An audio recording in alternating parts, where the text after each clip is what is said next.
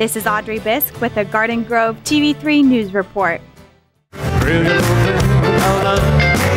The band The Answer calls themselves the answer to classic rock, and for 50 years they have shown people just what that means.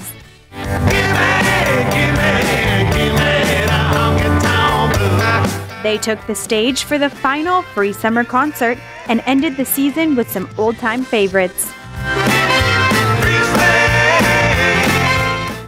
After six weeks of high school singers competing for the voice of Garden Grove, the finalists eagerly waited on stage to hear who won the title. Kang Lo from Bolsa Grande High School.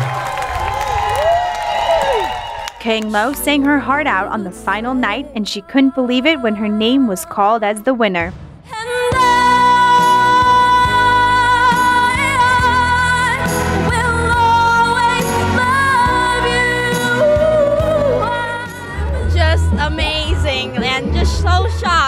Shocked, you so exciting. Yeah, speechless.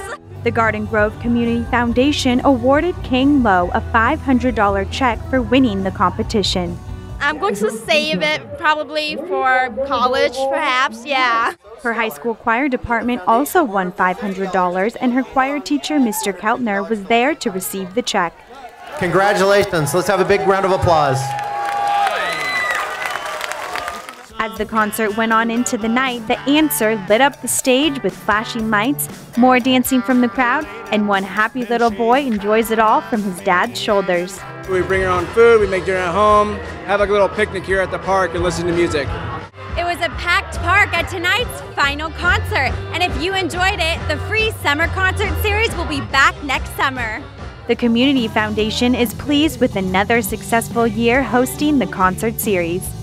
All the planning and all the work and all the staff time behind the scenes to make these things happen. And then when you come out here and you see it all come together and people having a good time, it's really worthwhile. This is Audrey Biesk reporting.